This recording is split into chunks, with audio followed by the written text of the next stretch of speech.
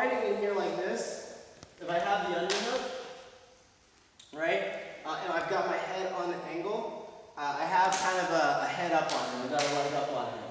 Um, he can beat his hip in for like a hip toss, but because I have my head in here and I can, I've got posture with my head, I can encounter easily. So if his hip comes in for a hip toss here, right, I, am gonna be able to stop it.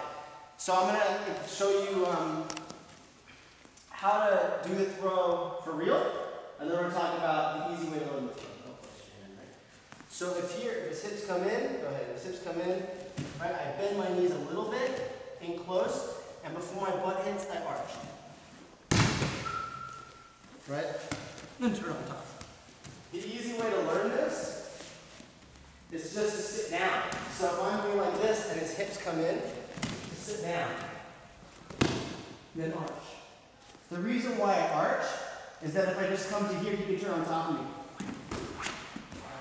So I have to freeze in the arch.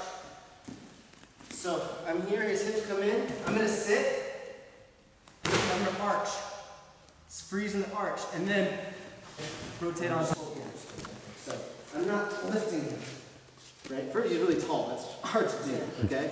So what I'm doing my knees come down, my butt goes up. Um, he comes, his feet come off the ground because I have a tight arch. So hold on. Here. I come in here. Okay? The more you arch, the higher he'll go. Don't think about